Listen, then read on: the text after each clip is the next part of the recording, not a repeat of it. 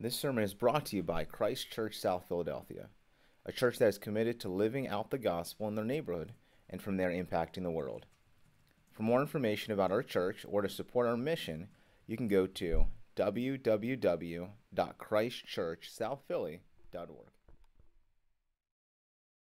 We're going to be in Esther chapter 2 today, picking up in verses 19 and reading down through chapter 3, verse 11. And as you find your way to Esther chapter 2, verse 19, I want to begin by telling you a story about a little girl on her way to school. This little girl's in first grade and she's excited for the year ahead. She gets up very early and eagerly puts on her clothes. She had a new dress all picked out because today was the day when she was going to a new school and she wanted it to be something special.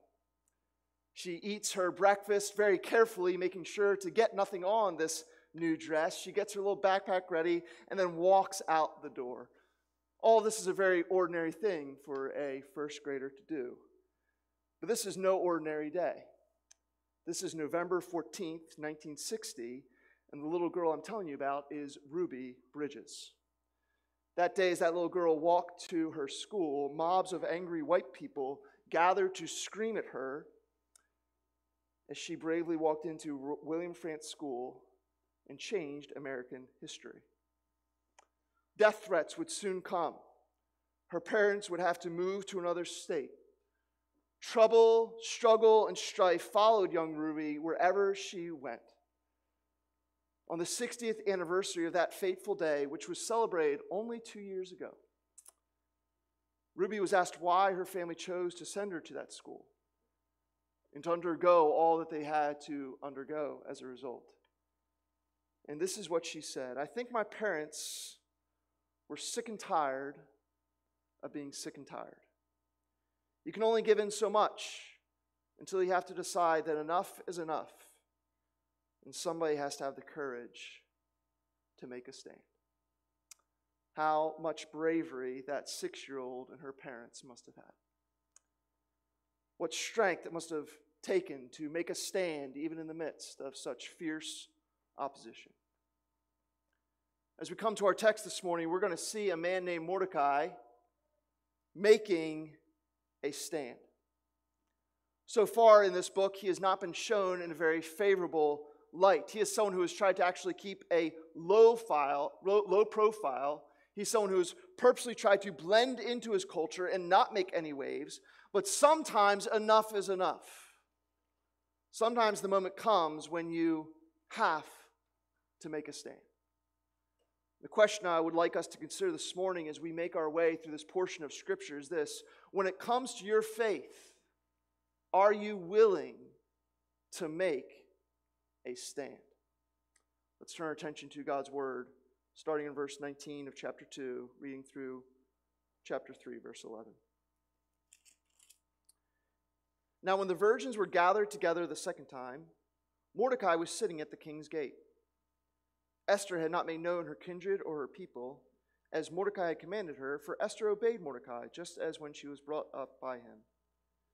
In those days, as Mordecai was sitting at the king's gate, Bigthan and Teresh, two of the king's eunuchs who guarded the threshold, became angry and sought to lay hands on King Ahasuerus.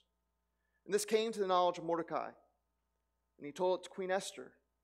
And Esther told the king in the name of Mordecai. When the affair was investigated and found to be so, the men were both hanged on the gallows, and it was recorded in the book of the Chronicles in the presence of the king. After these things, King Ahasuerus promoted Haman the Agagite, the son of Hammedatha, and advanced him and set his throne above all the officials who were with him. And all the king's servants who were at the king's gate bowed down and paid homage to Haman, for the king had so commanded concerning him.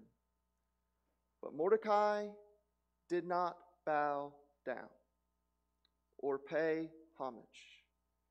Then the king's servants who were at the king's gate said to Mordecai, Why do you transgress the king's command?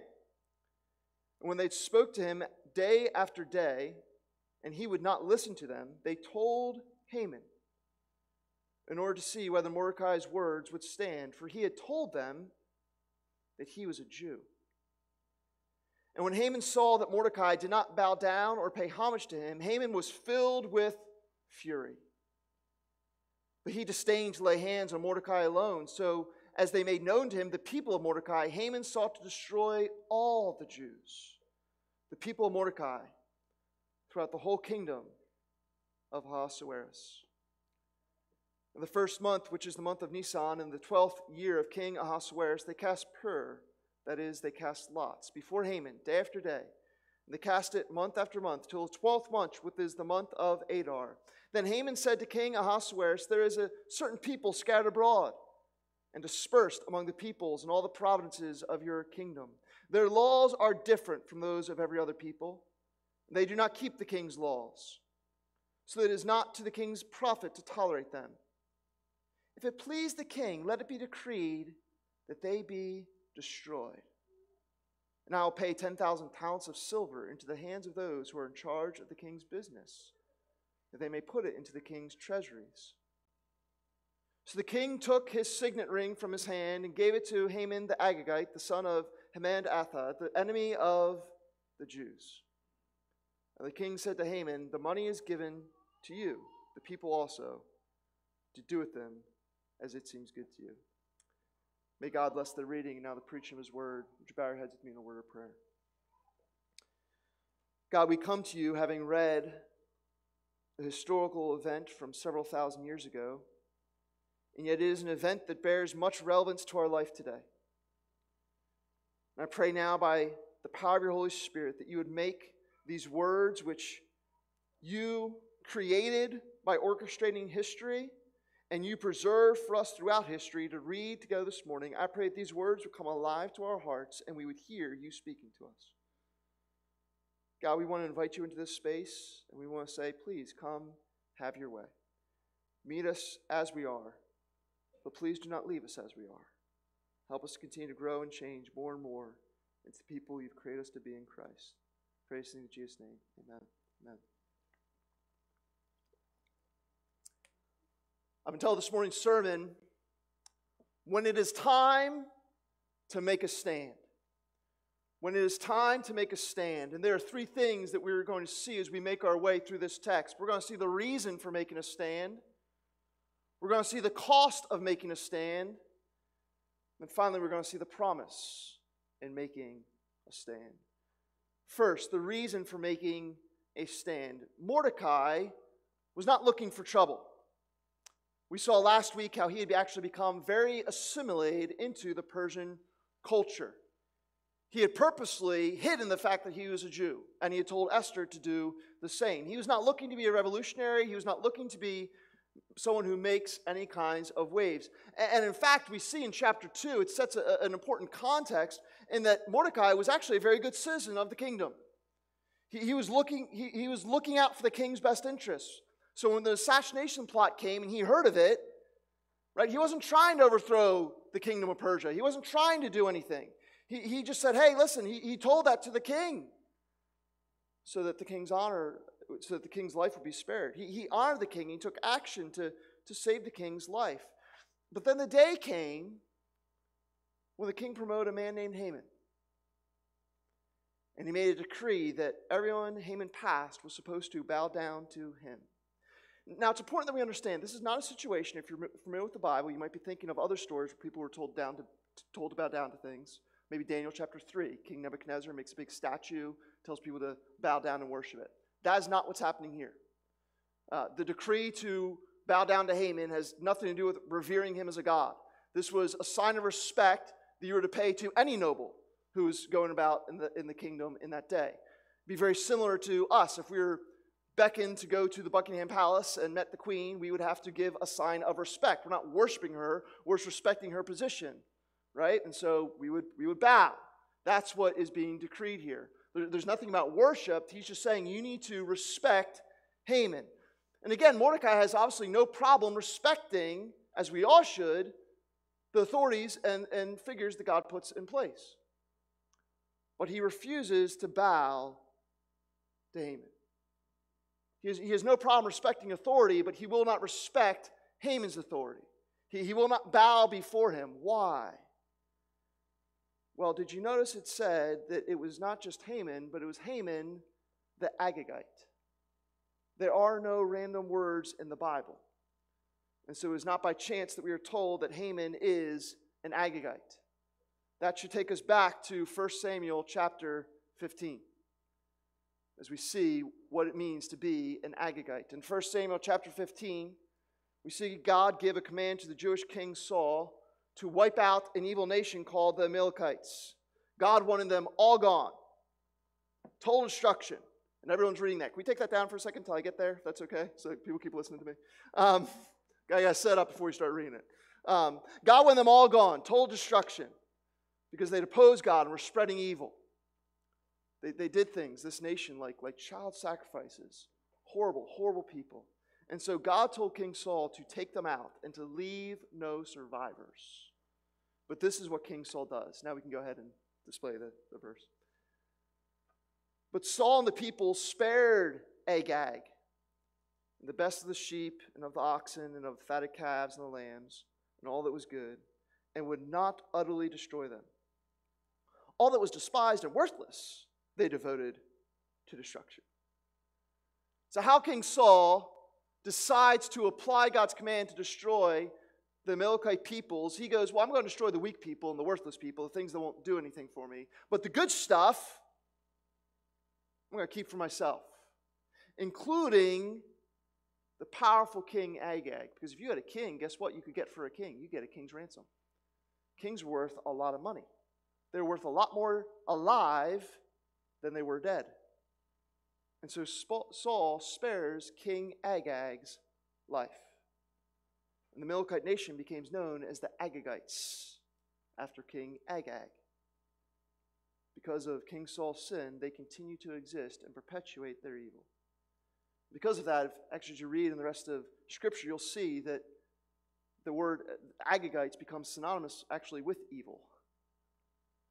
These, these, are, these, are, these are sinful people. And so here is Mordecai, who, as we saw in chapter 2, verse 5, he's not only identified as a Jew, but remember, we're told what tribe he comes from. He comes from the tribe of Benjamin, which is the tribe of King Saul.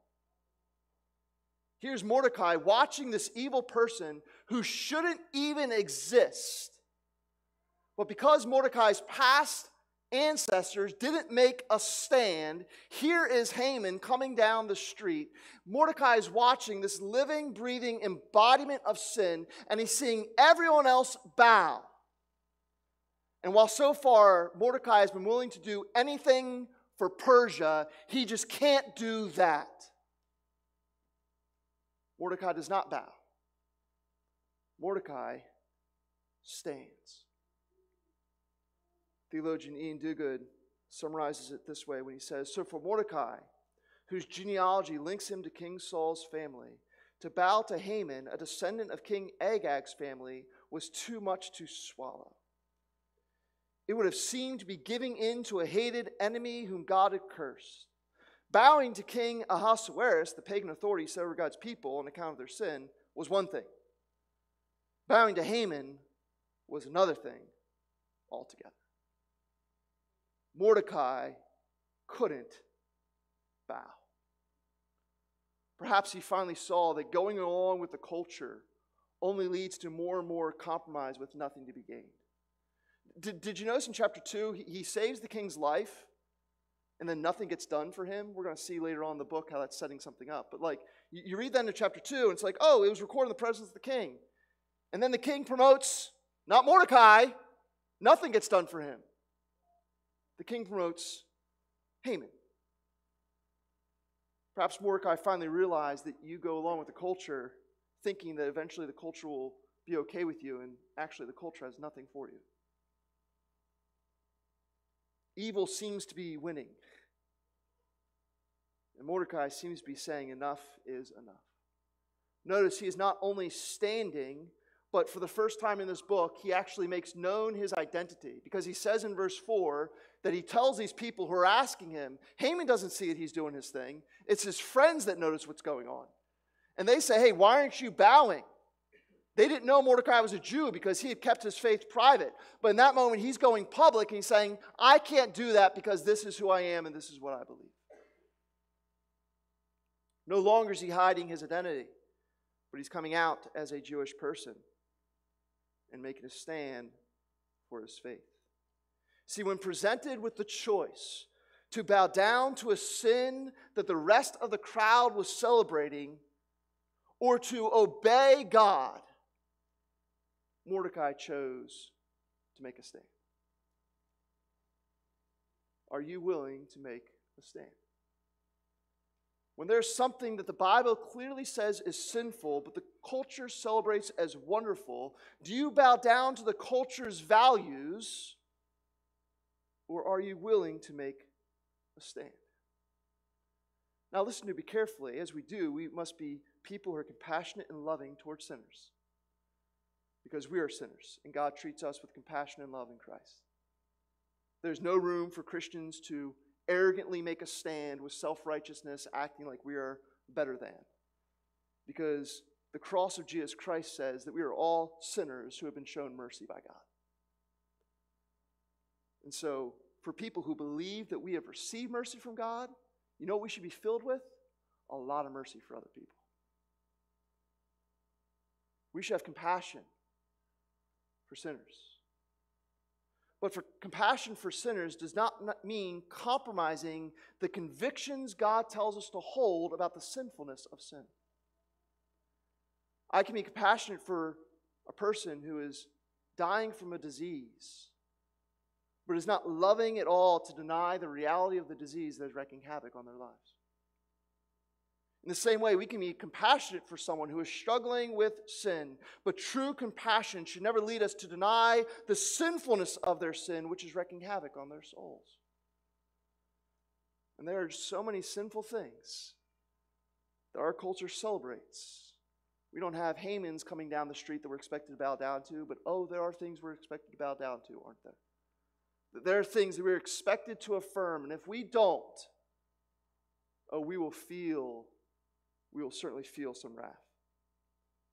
And so, when it comes to popular culture, or maybe your own feelings and desires, when it comes to that and they are in contradiction with the Bible, what God says, what rules you in that moment? Are you willing to make a stand? I have to continually ask that question to myself. Are we willing to make a stand, for example, with what the Bible talks about sexual ethics? Or will we affirm and maybe even practice things the Bible calls are sinful, but our culture says we must view as wonderful?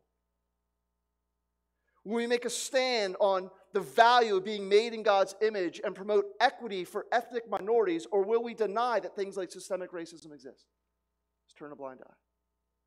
Will we make a stand on the value of women or will we perpetuate their objectification through the use of pornography and reinforce cultural stereotypes that promote inequality?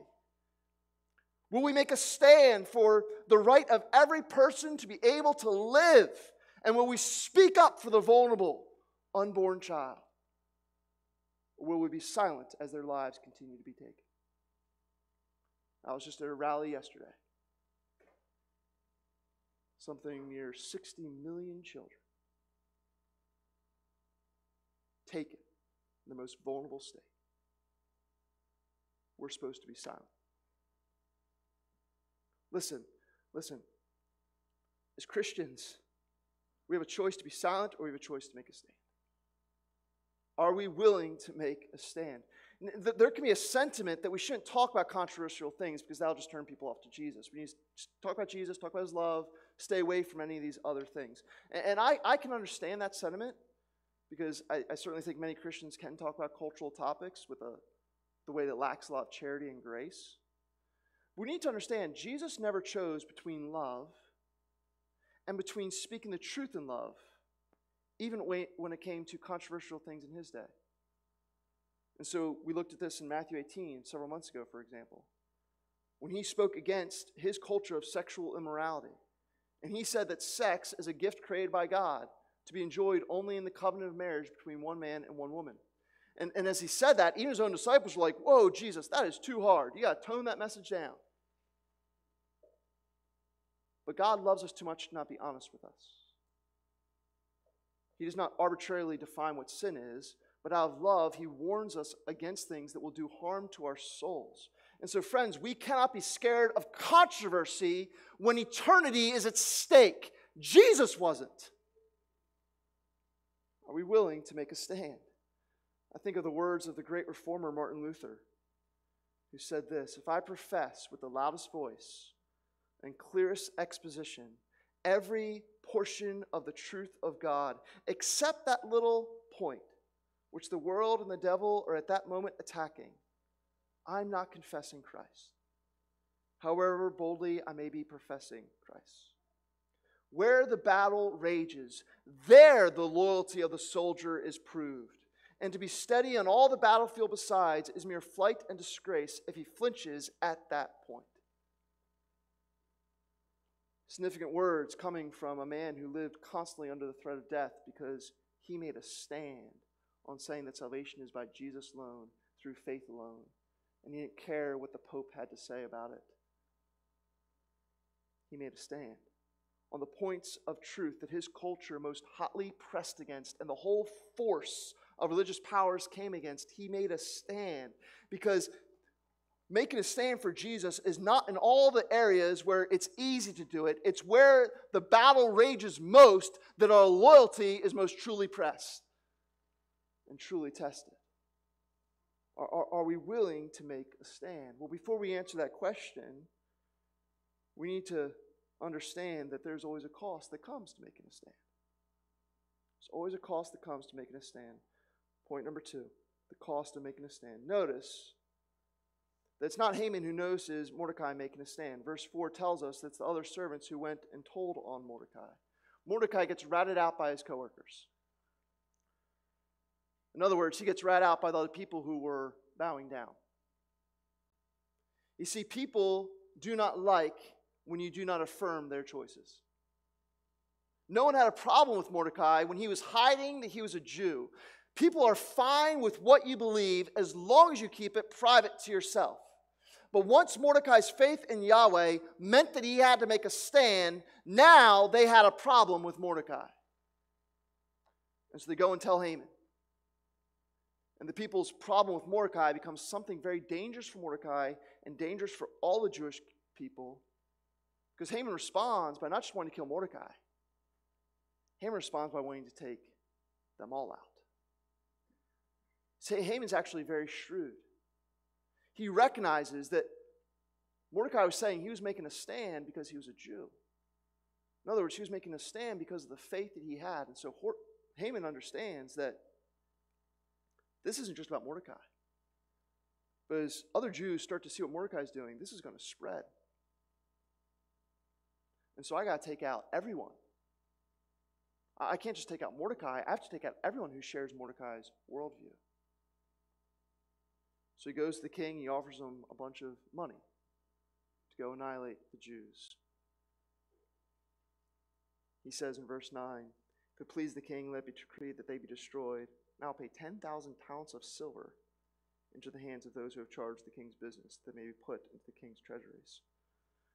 This is, this is political lobbying at its most insidious. Just buying the king off. And the king, without taking time to verify anything, he just goes along with it. Did you notice that? He gives no thought. He's like, oh, you're going to give me some money? Oh, yeah, sure, I'll make that into law. He gives him a signet ring, which means it's a law that that could not be repealed. That's going to be really important in the story later. But he uses his power to make a law without even considering its implications. What a dumb king. Before we are too hard on him, though, I do need to say this as an aside. We have to consider in our country where we have the power to vote on laws and lawmakers, how often do we engage in using our power without really giving much thought to it? This is not the point of my sermon today, but it's important to recognize that we have power, power to influence the laws of our land. And we should not abdicate that responsibility by not voting. And we, if we should vote, and we should be informed about how we vote and use that power wisely. And we might disagree about who to vote on, that's fine. But the one thing that we should not do is do what King Ahasuerus did and not even think about it and just go down a party line. No, no, no. We have a power that we need to take very carefully and we need to be formed, and we need to think about who we're voting for. It's very important. It's nothing to do with the sermon today, but it's an important thing from this text. But notice that, that Haman point, pay, he pays off the king and, and he justifies his campaign against the Jewish people. How does he do it? He does it by saying, All these people are disobeying your laws. Now, is that accurate to this point? No. There's nothing so far in this book that shows that the Jewish people are unwilling to obey the king's laws. In fact, last week we saw Esther was more than happy. She should have stood up. She shouldn't have gone to be in the harem of the king, but she was more than happy. Oh, king, you told me to do it. Sure, I'll go ahead and do it. She, she was more than happy to go be with him. There, there, was no, there was no standing up to anything. There was no, there was no Jewish rebellion and uprising going on. Not whatsoever. They have totally assimilated into the Persian culture to the point that people didn't even know who who, and who wasn't a Jew. The only thing that's happened is that Mordecai made a stand against Haman. That, that's, that's the only kind of transgression of the law that's occurred, which would have been considered a very minor offense. But that's not what Haman says. Haman doesn't say, This guy won't bow to me. So did the king be like, Well, get over yourself? Like, he says, Oh, these king, do you see what they're going to do? And it's going to be this threat to you. Like he, he misrepresents them, and it's his misrepresentation of them that justifies the mistreatment of them. If you study history, you'll, you'll, you'll see that most often oppressions of people group are first justified by misrepresent, misrepresenting that people group. And so the African slave trade was justified by viewing Africans as subhuman. And Hitler justified his quest to exterminate the Jews by saying they were an inferior race. Misrepresentation often leads to mistreatment. I think in our own city, how recently there was a group of teenage girls, three girls between the ages of 14 and 17, who went to pray outside of a Planned Parenthood center. They're just letting the women who were going in, hey, we know you, we love you, God loves you, we'd love to pray for you. They didn't have any signs or anything, they were very peaceful. It's being there an expression of incredible love. And of our state representatives goes over to them. You can watch this on Twitter, but only if you have a strong stomach. He goes over to these young girls and begins to berate them as bigoted and sexist, and it just goes on and on and on, like scaring them. It was unbelievable. He then offers on video $100 to anyone who can dox these girls, anyone who can out them, find out who they are and what they are, so you can go to their homes and further harass them. I don't, yeah. I don't know how it's even legal to do for a 14 year old. But he's still in office. People are still voting for him. He justifies this terrible mistreatment by representing what they were doing, saying they were doing hateful things. No, they weren't. When did prayer become hate? He was able to misrepresent them, and because he misrepresent them, he was able to mistreat them. Listen, friends, that's just what we should expect. If you go against the popular opinion of the culture, this is what we should expect. We should expect to be misrepresented and mistreated. I used to be the president of my neighborhood civic association um, until the pastoral team decided that I needed to make sure to live to the age of 50, and so I needed to start changing some things in my schedule. Uh, very grateful for how those guys look out for me because I would burn myself to the ground really fast. So, but, but I did that for, for, for, for about a year. And the first meeting after being elected president, someone showed up with quotes from my sermons just to harass and heckle me and tell, tell everyone who was at this meeting how horrible person I was, right? I've had my tires slashed. People have said all kinds of mean spirited and slanderous things to me. Even had a death threat one time, which wasn't really that real, but like, you know, someone dropped a note in my mailbox and whatever, we had to get the police involved. The reality is, my, my persecution, though, is, and our persecution, is, my persecution is, not, is nothing serious. I don't bring that up to draw attention to myself, but just to say it's something that happens. But it's nothing that serious, especially when you consider what these Jewish people are facing here in Esther chapter 3 especially when we consider what our, many of our brothers and sisters are facing around the world. Forbes magazine released a report recently that one in eight Christians live in a part of the world where they're in danger of death just for being a Christian. One in eight Christians. Is what they say in that article. On average, every day, every day, 13 Christians are killed for their faith. 12 churches or Christian buildings are attacked. 12 Christians are unjustly arrested, detained, or imprisoned, and five Christians are abducted for faith related reasons. Every every day. This is not just an Esther 3 problem. Persecution is very real for our brothers and sisters around the world. Because there's a cost to standing up for many years here in America, we're honest, there's not been much of a cost for us to be Christians. I mean, maybe some people will do what they did to me and say some unkind things and do some unkind things to you, but there, there hasn't been much of a cost. Things have been relatively safe, but there is a rising anti Christian sentiment that I think we need to be aware of. And, and I'll be honest, I'm not sure if the American church is ready for it. I'll be honest with you, I, we, don't, we don't seem to be. Because every day it seems that there's another Christian who's denying things like the authority of Scripture. Well, the Bible's just full of allegory, like, you know, we don't really, and they just start, they start mushing it around to mean whatever they want it to mean. They start re examining their beliefs about sin and Jesus' death on the cross. I'll be honest with you, in the face of persecution, it seems a whole lot of Christians are fleeing to compromise. Because it's easier to bow down to what everyone else is bowing down to than to stand up and stand out. But, friends, we cannot forget the words of our Lord Jesus. We said this in John chapter 15 Remember the word that I said to you a servant is not greater than his master. If they persecuted me, they will also persecute you. As we heard read this morning, the first part of it, John chapter 16, verse 33 In the world you will have trouble. This is Jesus speaking. Listen, I, I praise God that for years our country has been a safe place to be a Christian. But we need to understand that's an anomaly of history and not one that the Bible should, tells us to expect. No, actually, 2 Timothy chapter 3, verse 12 says this Indeed, all who desire to live a godly life in Christ Jesus, notice that, all, a, that's a universal, exhaustive statement. All who desire to live a godly life in Christ Jesus will be persecuted. Listen, I'm not saying this to try to scare anyone, but it's my responsibility, I think, as your pastor to prepare you. Be ready for this. Like, I can't give you the Joel Osteen message of this is about your best life now, because that's not biblical. God promises our best life later with Him in heaven. But in this world, well, all who desire to live a godly life will be persecuted, is what He tells us. Makes me wonder if you've never been persecuted for your faith, maybe perhaps there's ways you're not living out your faith as you should if all who desire to live a godly life will be persecuted, and you're not being persecuted, maybe you're not desiring to live a godly life in certain ways? It's a question I've had to reflect on.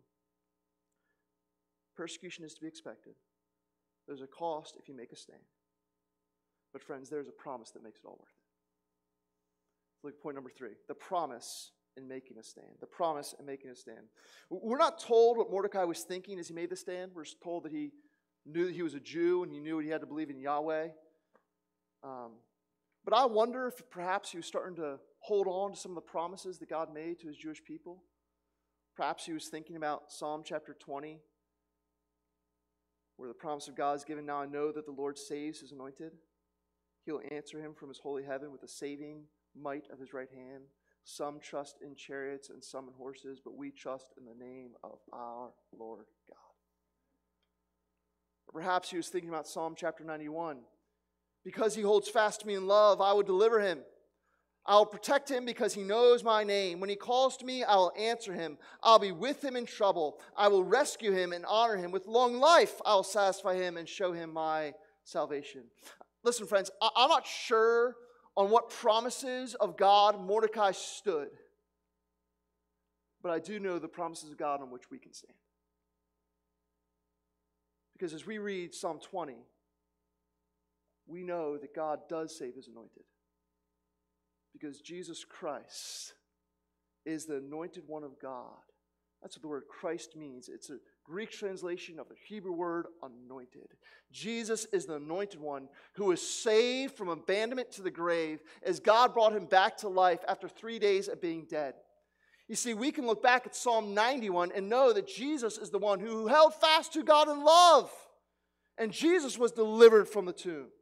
See, Mordecai could have looked forward with faith and made his stand on the promise of the coming Messiah, but we look back and we make our stand on knowing that the Messiah has come. We look back with faith and we make our stand on Jesus and the promise of who he is for us. Friends, our takeaway from this text is not that we should just learn to stand up like Mordecai.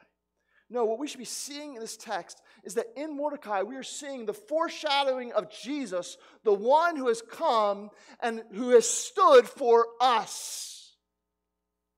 What did Jesus do in the face of evil? Well, he's the one who made a stand for us in the desert when Satan tried to get him to bow down to sin. Jesus stood and would not give in. He, he did not become like the first Adam who failed to Satan's temptation in the garden. No, Jesus is the better second Adam who stands up against Satan's temptation and wins in the desert.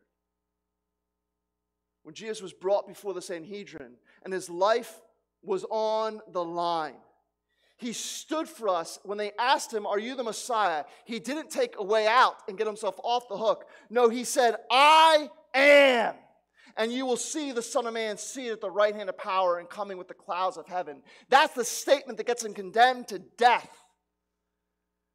And then Jesus goes and he stands for us before the Roman governor Pilate, says, Why are you standing here? Don't you know that I have power to take your life? Jesus says, You would have no authority over me unless it had been given to you from above.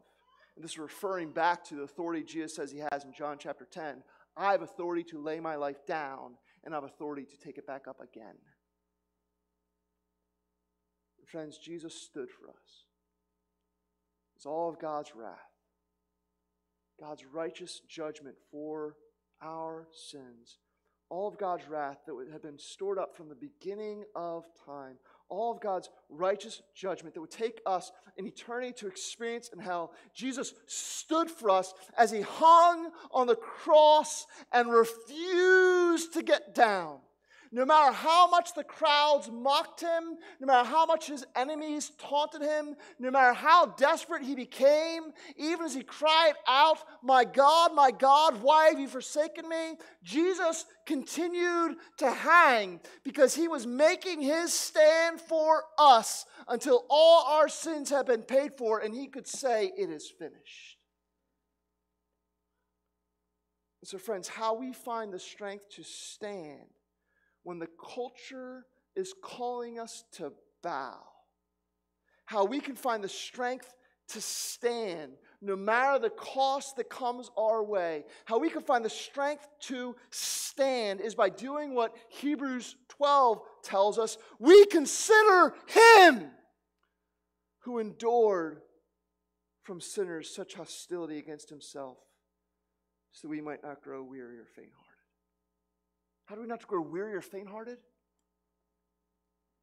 We're getting canceled. We're getting passed over in promotions. We're losing our jobs.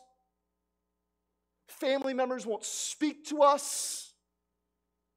How do we not grow weary and faint hearted? It's not by selling out and compromising and making our lives easier. How we don't grow weary and faint hearted is by considering Him who endured such hostility against Himself. God does not ask us to find the strength to stand within ourselves. He asks us to look to Jesus, the promise of all who Jesus is for us. Because Jesus has stood for us, we can know that when our days of persecution comes, 2 Timothy 4:18, the Lord will rescue me from every evil deed and bring me safely into his heavenly kingdom. Because of Jesus, we, we know the promise is true in Hebrews 13 5. I will never leave you nor forsake you. Because of Jesus, we know the promise is true in Romans 8 28. For those who love God, all things work together for good. For those who are called according to his purpose.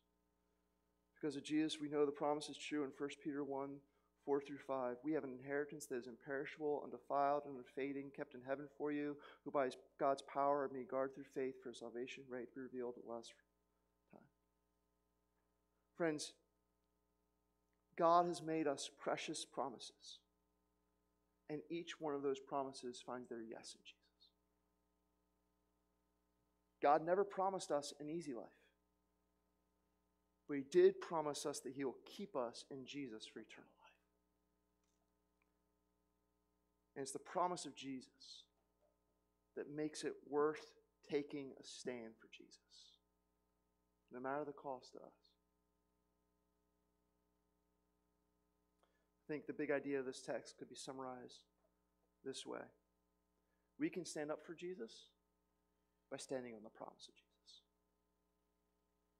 When your moments come, teenagers, when your moments come in your classroom, there's a conversation happening amongst your friend group. You have a choice to be silent or to make a stand.